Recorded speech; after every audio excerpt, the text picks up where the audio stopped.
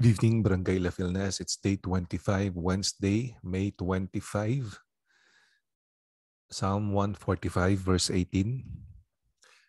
The Lord is near to all who call on him, to all who call on him in truth. Scripture Insights Psalm 145 is a powerful psalm of praise written by David. The first stanzas declare the greatness of a God who is gracious, compassionate, slow to anger, and abounding in love. This God is mighty, and his kingdom is everlasting.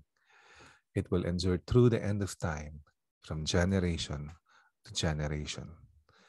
David goes on to say that the Lord is faithful and promises to be near to those, quote unquote, who call on him in truth. We can trust him.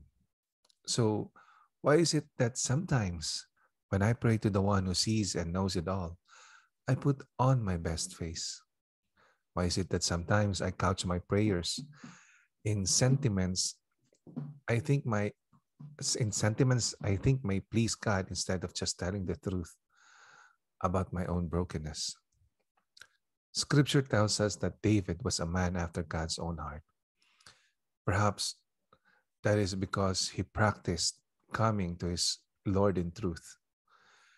We see this faithful practice all through his story and in the Psalms he wrote, whether he was hiding in a cave from Saul, repenting from his sin with Bathsheba, or declaring victory over giants who threatened to, to fell him.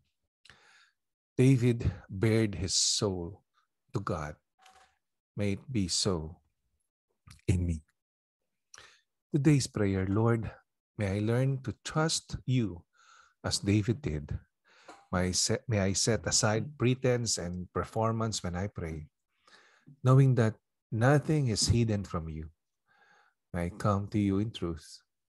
Your compassion and endless mercy is my hope. Prayer Journal Reflections. What is the Holy Spirit saying to you today about the Lord's protection, direction, and revelation for your life in the life the LAFILNAZ Church? Our devotion for tonight is uh, written by Bonnie Perry, General Editor. Thank you. God bless you. We'll see you tomorrow. Bye.